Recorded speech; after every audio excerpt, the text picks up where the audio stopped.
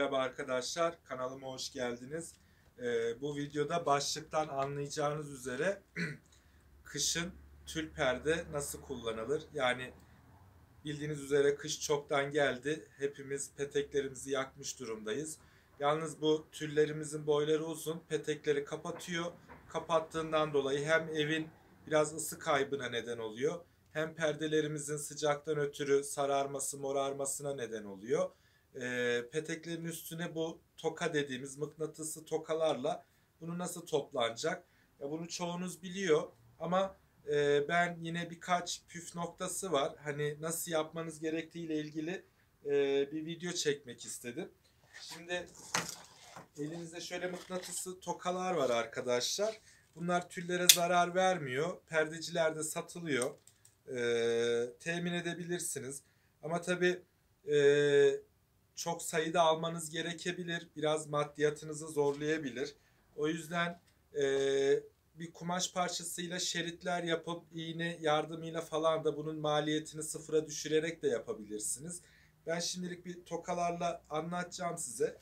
E, ürünümüz bu olsun. Şurada şöyle petek olduğunu kabul edelim arkadaşlar. Şimdi perdeyi şöyle topladık tokayı taktık. Diğer tokamızı da şöyle topladık. Bunu da şu şekilde taktık. Şimdi yine peteği kurtarmadık. Bir tane daha uygulayalım. Bir tane de şuradan şöyle taktık. Şöyle uyguladık. Şimdi peteği kurtardı. Ama görüntü çok hoş olmuyor. Veya bunu iki tane tokayla yap yapanlar oluyor. Hani e, biraz daha böyle model vermek e, amacıyla ben biraz daha farklı yapacağım bunu. Tokalarımızı geri açıyorum. Şimdi arkadaşlar şöyle pileleri düzelttik. Perdemizin orta kısmı şurası. Şimdi bu pilenin altından yani şu şekilde Şöyle kamerada gözüksün. Şu şekilde elimize topluyoruz. Ve bu perdeyi şöyle çene hizamıza kadar tokayla topluyoruz. Şu şekilde. Şimdi diğer pileleri yaparken bir iki tane pile atlıyorum. Üçüncü pile. Bunun da şu tarafı döndüğü için şöyle biraz kaldırın. Bakın şurası. Şuradan mümkün olduğunca düzgün bir şekilde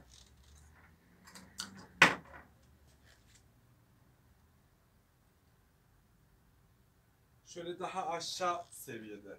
Aynı şekilde bir iki pile atladım. Üçüncü pilemiz şu. Bunun da şu alt kısmı şurası. Kameranın önüne engel oluyorum farkındayım.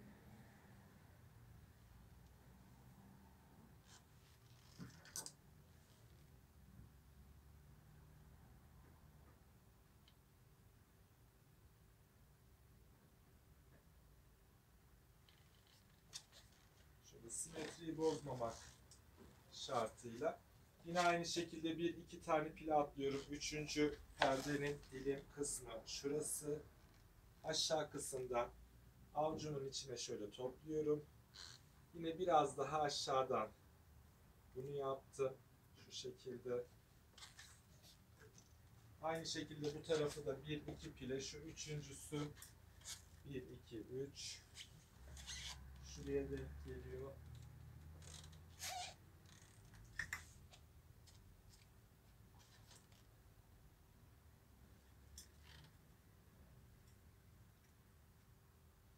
Burada yine bir alttan şey yaptım. Şu anda balon perde e, havası katmış olduk. Aynı zamanda petekten yukarıya toplamış olduk. E, perdenin görüntüsü e, bence daha şık oluyor.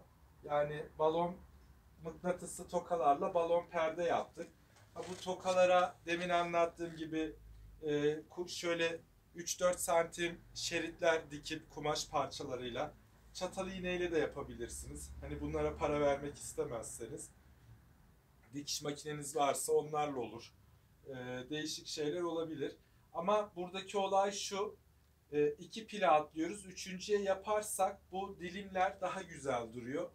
Tepeyi tam ortasını yüksekten aşağıya doğru yapıyorum. Şöyle geniş açıyla bakarsanız e, perdeye farklı bir hava katmış olduk. Hani kışlık perde kışın bu şekilde kullanmanızı öneririm. Hem petekten çıkan sıcak e, tülle camın arkasında geri soğumaz. Hani şey olmaz. Tülden geçmiş olur. Hem perdenizi korumuş olursunuz hem de evinizi ısıtmış olursunuz. E, beni izlediğiniz için teşekkür ediyorum. Umarım işinize yarayacak bir video olmuştur. Kanalıma hala abone değilseniz abone olarak beni desteklerseniz sevinirim. Kendinize iyi bakın. Hoşçakalın.